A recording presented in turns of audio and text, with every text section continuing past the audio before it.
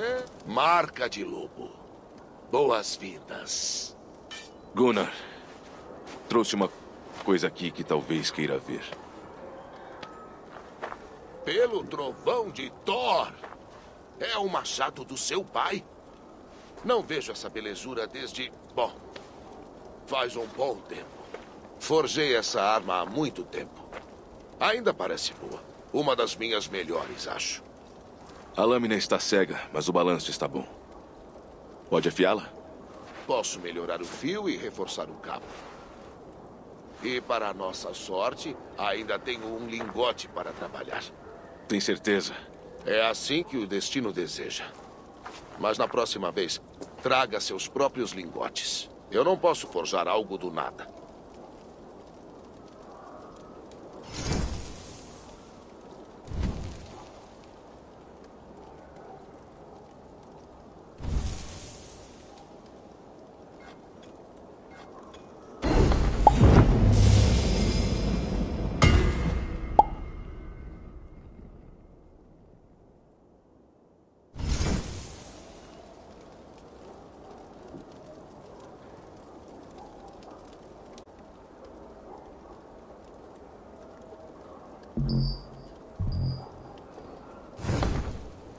Isso deve bastar.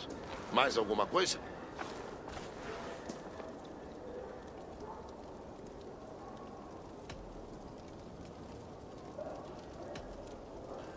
É tudo por enquanto. Volte sempre.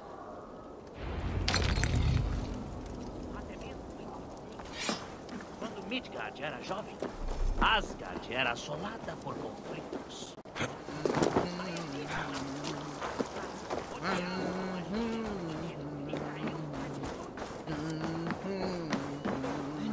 Já devem ter terminado.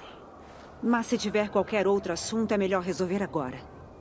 Deixe-o se acalmar. Posso falar com Valka primeiro. Tirar esse peso dos ombros. O rei não vai a lugar algum.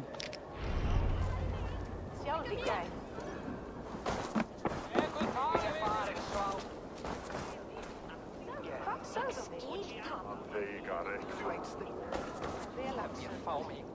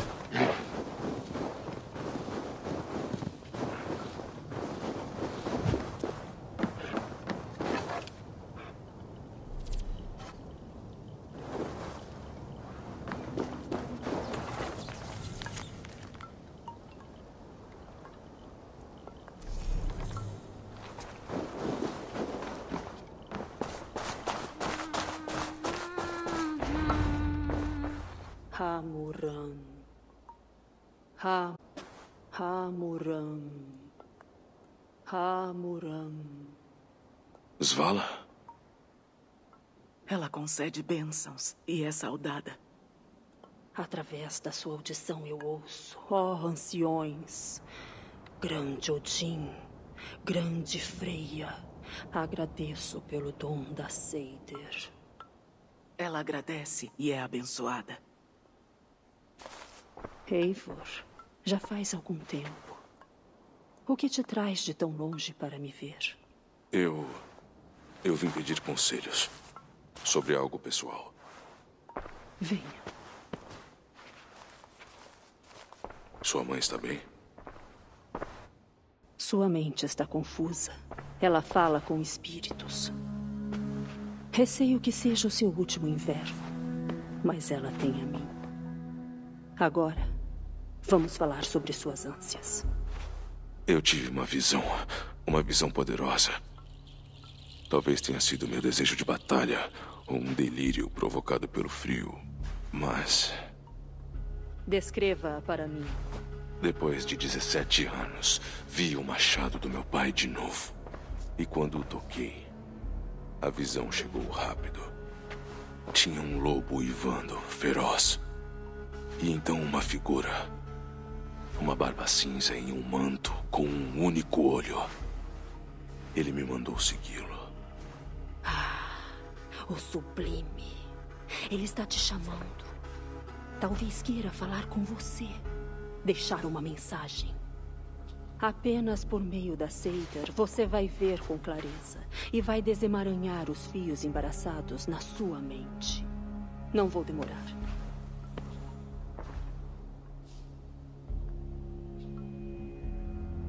O que está preparando? Um elixir para soltar sua Hungar e desanuviar seus pensamentos.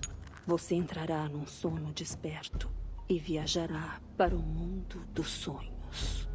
Pode te confundir ou te desorientar, mas você precisa observar. Beba. Se busca a verdadeira compreensão,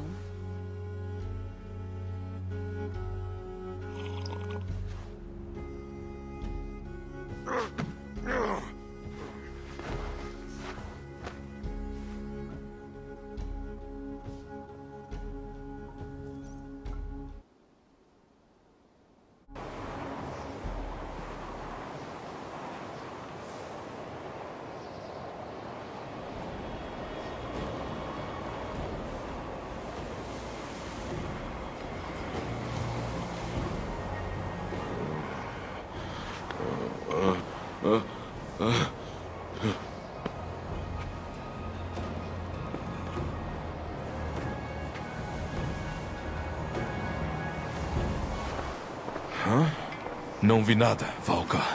Não senti nada. Ravi! Ravi! Estou andando entre mortos.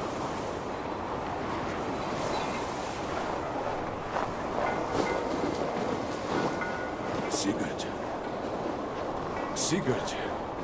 Irmão, quando foi que chegou?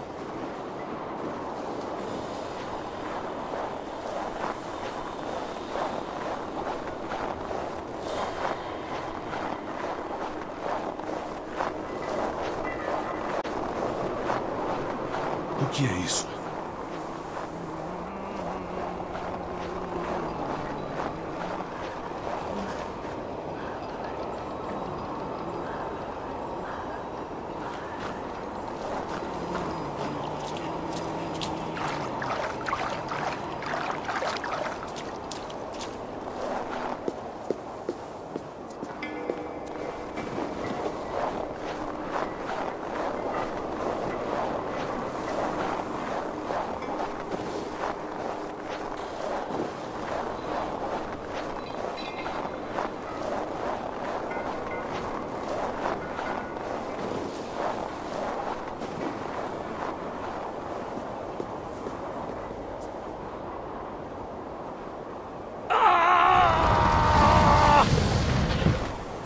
Sigurd.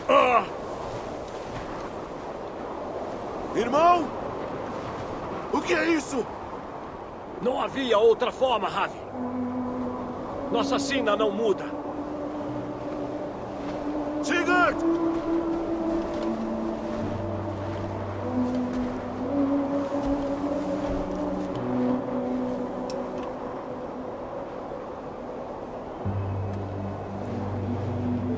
Sigurd! O que? O que aconteceu? Isso não era para você, Ravi.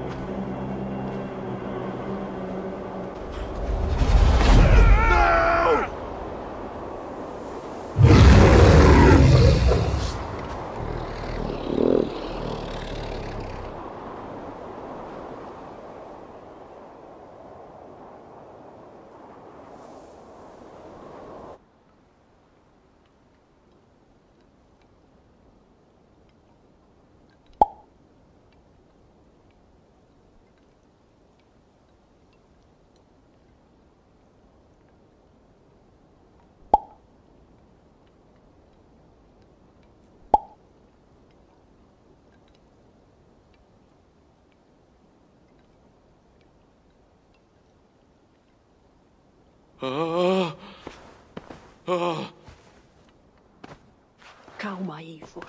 É a Valka. Estou aqui. deuses! Achei que. O que foi isso? Conte-me tudo.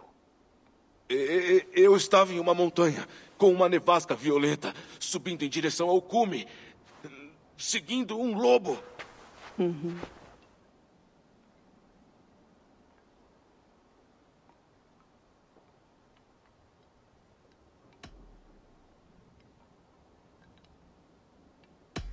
E o lobo ansiava pela minha atenção, como se estivesse acenando para segui-lo.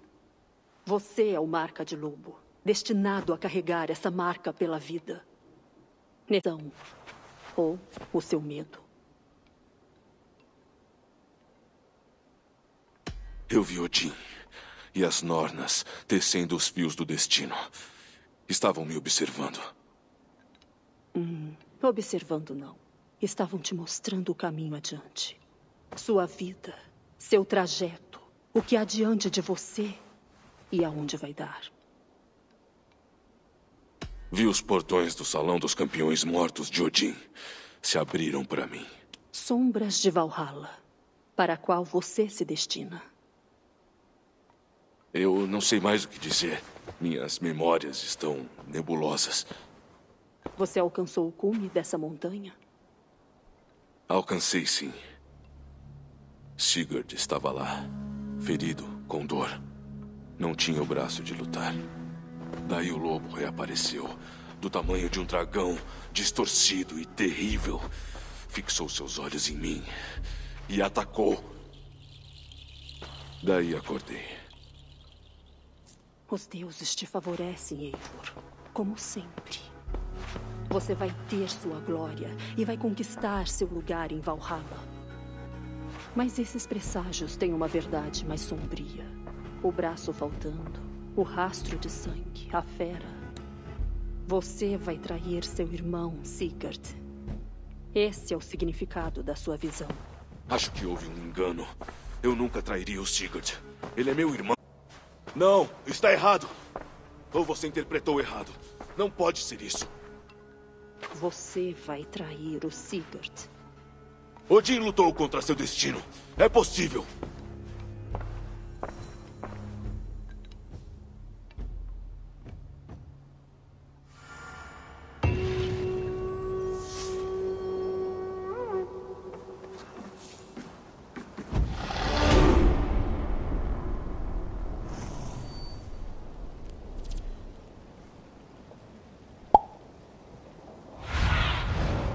Abra as asas, Suni.